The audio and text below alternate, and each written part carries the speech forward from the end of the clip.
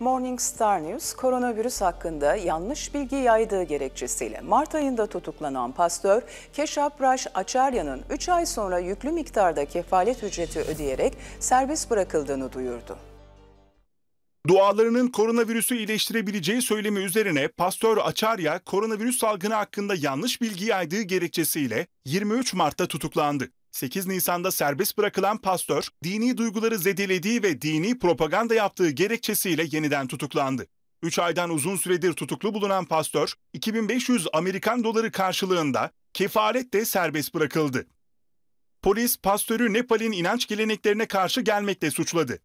Açarya'nın cep telefonunda Hristiyan içerikli uygulamalar bulan güvenlik güçleri kendisiyle alay etti ve pastörü dini propaganda yapmakla suçladı. Pastör Açarya 22 Mayıs'ta kefalette serbest bırakılmayı reddetti. Ancak yaklaşık bir ay sonra bir hakim 2500 ABD doları ödeyerek pastörü geçici olarak serbest bırakmaya karar verdi.